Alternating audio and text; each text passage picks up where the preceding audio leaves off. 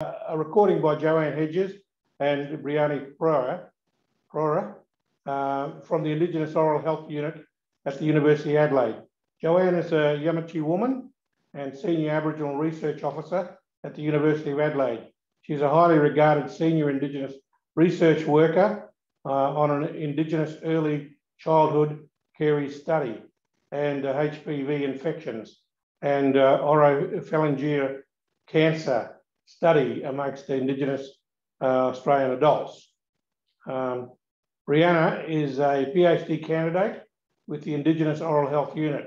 Her research relates to the impact of neoliberal political and economic ideologies on Indigenous oral health. It'll be very interesting. Mm. And uh, early childhood caries amongst Indigenous children in South Australia. Uh, Brianna and, and Joanne uh, will be joining us live after their presentation to respond to any questions. So, kick off the presentation. Will do. Oh. That's, uh, yeah.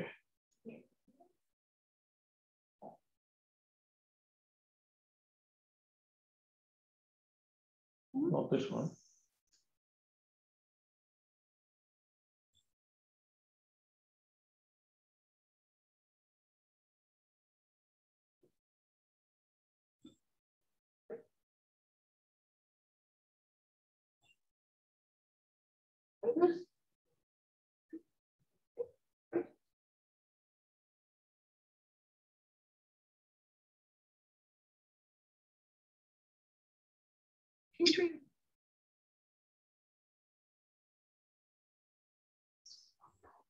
Right.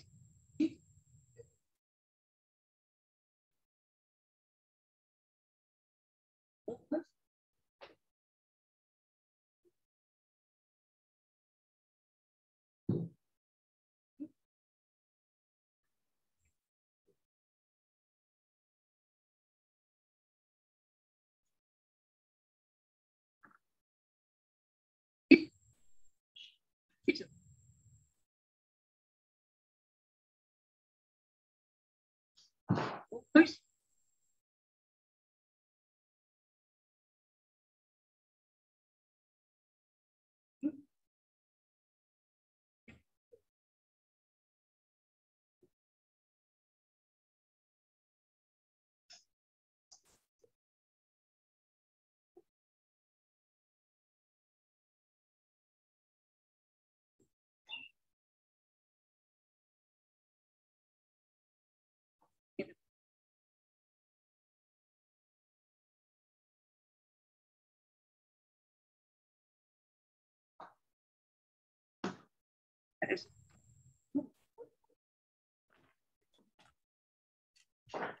Sorry, everyone. We're just experiencing some technical difficulties. I'm going to try that again.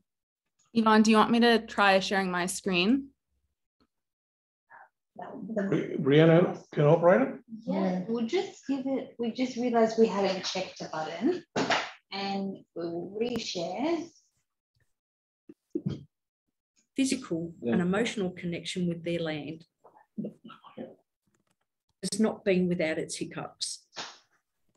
However, I consider my input to grant proposals, working in the field, and providing comments to reporting the results of our research as significant, particularly working in the field.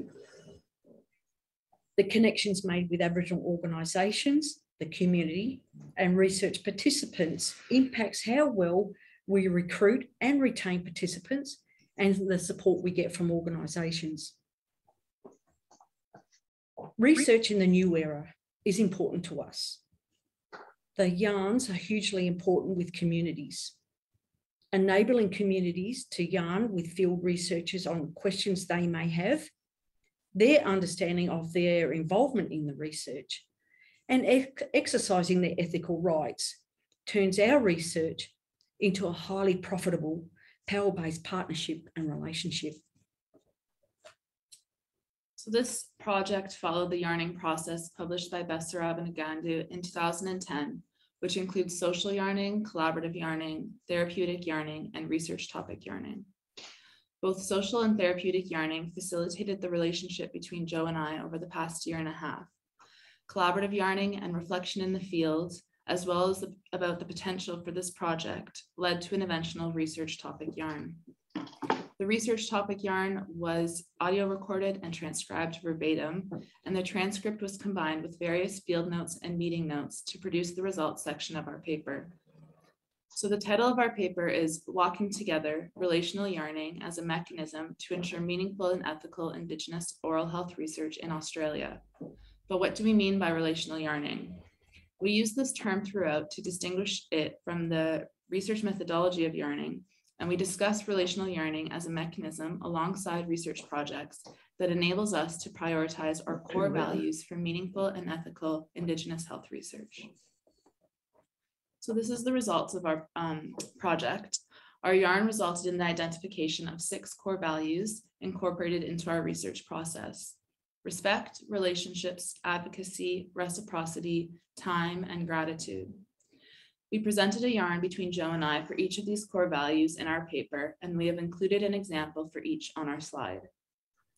With regards to respect, we discussed how respecting and acknowledging cultural ways and community business is important to building trust and relationships. Relationships not only are we're not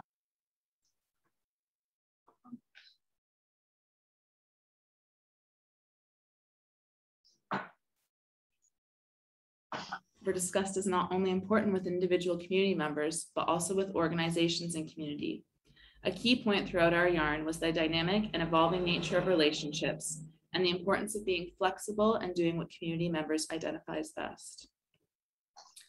Advocacy was discussed as a critical part of doing Indigenous health research, particularly in the face of racism and in terms of advocating for participant health, but as well as in the institutions where we work. Reciprocity was discussed as a responsibility that we have with communities. Sharing knowledge from our projects with individuals and organizations is very important.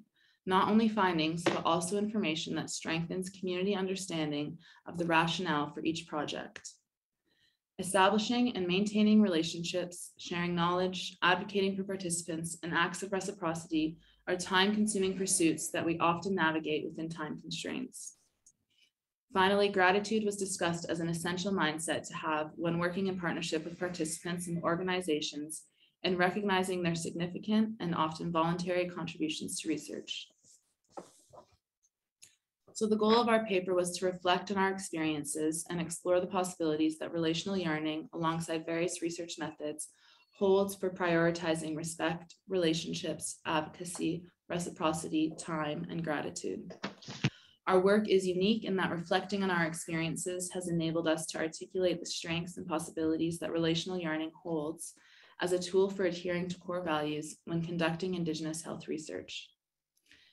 Impacts of colonization and exclusionary research practices have silenced the stories of many Indigenous peoples in Australia, and arguably some contemporary research processes continue to silence Indigenous voices. The creation of space for meaningful and ethical Indigenous research is the responsibility of both non-Indigenous researchers and Indigenous researchers. Failing to intervene as privileged non-Indigenous researchers permits the continuation of racism and symbolic violence in academic institutions. As Indigenous health researchers, we continually impact the lives of Indigenous peoples we encounter. Relational yarning as an ongoing practice enables deeper understandings and respect for Indigenous cultures and peoples that is necessary for meaningful and ethical research conduct, but more importantly, for relationships. The Australian Human Rights Commission's definition of self-determination by Indigenous Australians as being an ongoing process of choice to ensure Indigenous communities are able to meet their social, cultural, and economic needs. In our experience, yarning is a tool that improves Indigenous health research at an individual and community level.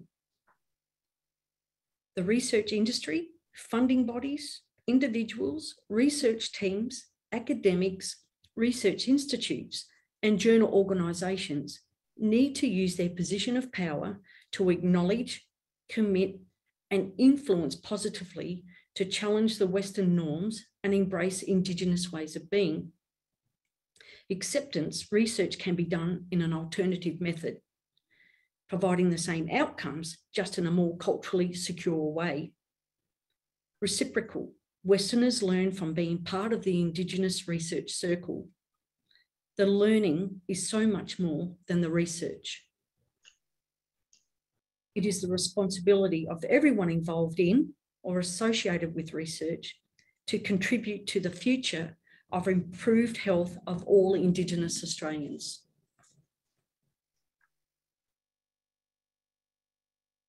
Brianna and I would like to end by expressing our deepest gratitude to our Aboriginal communities, organisations, and participants who have generously supported our research projects.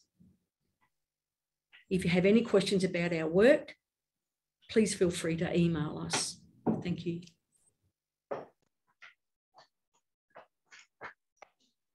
Oh, we're unmuted. Yeah, thanks, Joanne and uh, Brianna. So do we have any questions or comments that we've got? Um, comment, terrific method for facilitating stronger communication and relationships with researchers and thanks for this informative presentation. As part of the presentation, you, you said that um, you know more and more governments and, and other policymakers need to accept that yarning is a is an important strategy to get information. Um, did you go the next step to think about how um, you know how that might be done? How do we get people to change their mindset about the value of yarning? Um, so Jo is in the field, so she's not able to join us. I thought she might be, but I will try and answer on behalf of both of us. So um, this project was kind of born out of us going into the field and the practices that I've been um, privileged enough to learn from Joe about how we conduct ourselves in the field and what might seem like common sense to us in the way that we do things might not be common sense for other people. So we kind of wanted to take an opportunity to jot that down and um, kind of talk out a bit more what we do and why we do it and that sort of thing. So I think that this is our first step in that journey. There's definitely a lot more work to do. And even with the way that we wrote the paper, um, using not traditional um, headings, like I think we did, instead of methods and materials, we put the process and we had to, the journal we picked, we had to engage with the editor and be like, we really don't want to use the traditional headings. Will you accept this? And have a conversation about that. So even I think trying to challenge things in a small way kind of starts the ball rolling, but there's definitely a lot more work to do. Yeah.